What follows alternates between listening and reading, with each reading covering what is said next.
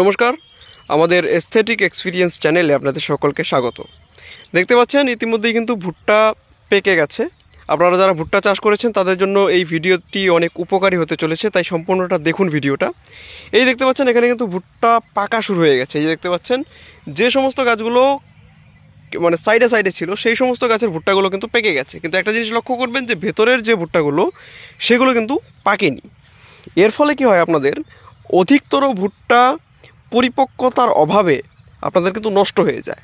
অর্থাৎ ভেতরের ভুট্টাগুলো পাকেনি, তাও আপনারা তুলে নেবেন এবং এরপরে আপনারা যখন ভাঙাবেন, তখন সেই ভুট্টাগুলো কিন্তু মাঝখান থেকে টুকরো হয়ে যায় এবং যার ফলে কৃষকের অনেক লস হয়ে যায় এই ভুট্টা খেতে। আজকে আমি আপনাদেরকে দেখাবো যে এই লসের হাত থেকে আপনারা কীভাবে আপনাদের মানে আপনারা কী করে রক্ষা পাবেন।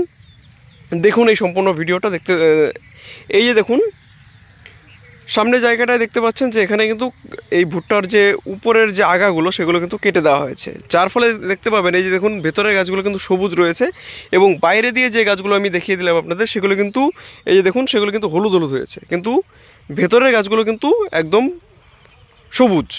সেই কারণে ভেতরের যে ভুট্টাগুলো দেখতে পাচ্ছেন আপনারা, সেগুলো কিন্তু সবুজ। যার কারণে উপরের যে আগাগুলো, সেগুলো কেটে দেওয়া হয়েছে। এর ফলে কি হবে আপনাদের? এর ফলে কি হবে? এই যে দেখতে পাচ্ছেন যে ভুট্টাগুলো কিন্তু রৌদ্রের তাপে রৌদ্রের তাপে কিন্তু ভুট্টাগুলো পেকে গেছে। এই দেখুন, প্রত্যেকটা ভুট্টা আপনারা খেয়াল করবেন। প্রত্যেকটা ভুট্টা খেয়াল করলে আপনারা দেখতে পাবেন যে যে সমস্ত ভুট্টাগুলো, এই যে দেখতে পাচ্ছেন, এখানে কিন্তু এই যে সবুজ। এবং এই ভুট্টাগুলো কিন্তু পরবর্তী সময়ে আপনাদের রৌদ্রের তাপে শুকিয়ে যাবে এবং ভেতরের যে বীজগুলো আছে ভুট্টার, সেগুলো কিন্তু পরিপক্ক হয়ে যাবে। এই যে দেখতে পাচ্ছেন, ভেতরে যদি আমি আপনাদের জুম করে দেখাই তাহলে দেখুন, ভেতরের যে অংশগুলো, সেগুলো কিন্তু মানে ভেতরে যে ভুট্টাগুলো, সেগুলো কিন্তু কাঁচা রয়েছে।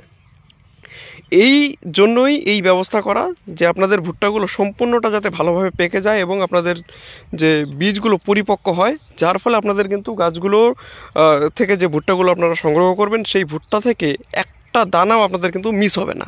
অর্থাৎ একটা দানাও কিন্তু আপনাদের মানে নষ্ট হবে না।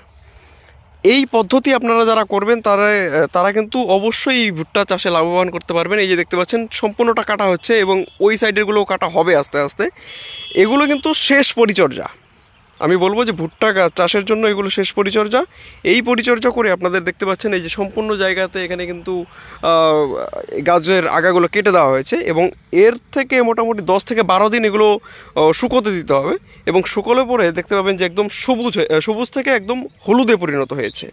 এবং তারপর আপনারা যদি তোলেন তাহলে কিন্তু আপনাদের যে ভুট্টা শুকানোর যে রৌদ্রটা সেটাও কিন্তু আপনাদের কম রৌদ্র লাগবে। অর্থাৎ যদি আপনারা তিন থেকে চার রোদ্রে শুকান, সেই শুকোনোটা আপনাদের দু থেকে তিন রোদেই হয়ে যাবে।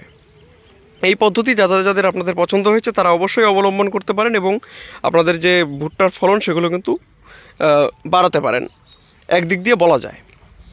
আজকের ভিডিও এখানেই শেষ করব। সবাই ভালো থাকবেন, সুস্থ থাকবেন এবং চ্যানেলে নতুন হয়ে থাকলে অবশ্যই চ্যানেলটিকে সাবস্ক্রাইব করে পাশে থাকা বেল আইকনটিতেও প্রেস করে দেবেন। ধন্যবাদ।